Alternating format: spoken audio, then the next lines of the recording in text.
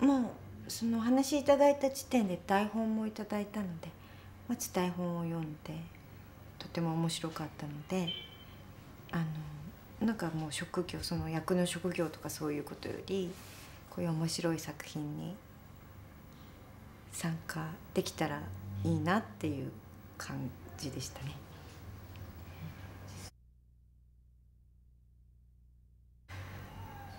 もうまああのセットを見るとやるべきことっていうかあるべきテンションみたいなのがすごくこう分かってきますよねそれだけで。だからそんなに特に苦労をしたとか役をつかむのにっていう感じではなかった楽しみながら作ってたって感じです。なんか一番普通にもがいてるなっていう印象でしたね。あの濃い映画ですよね。全て。キャラクターもセットも内容もなんかその小さなギャグも 満載でもう本当にワンカットに詰められるだけ詰め込んであるっていう。なんかこう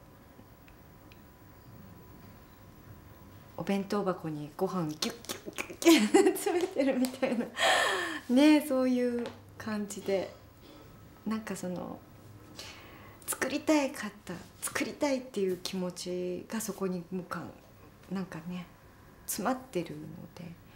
それはなんかその思いみたいなのは感動的ですよね。あとは自分のパート以外はどんなセットなのかどんな人たちをどんなキャラクターに浅野君とか岸辺さんがどんなキャラクターになってるのかとかどんなお家なのかとか全然知らなかったのでその出来上がったのを見た時の楽しさは楽しみはなんかいつもの何倍もありましたね。あ5つの話のオムニバス映画みたいなところもあってでもそれがどこかですごくこうつながっていてあんまりそういう今まで見たことないタイプのよくこんな面倒くさいお話を一つにまとめ上げていったなと思ってもう本当に制作サイドの方々には本当にこうご苦労様ですっていうかあんたたちはバカだよって 言ってあげたい感じなんですけど。面白いです本当に。あの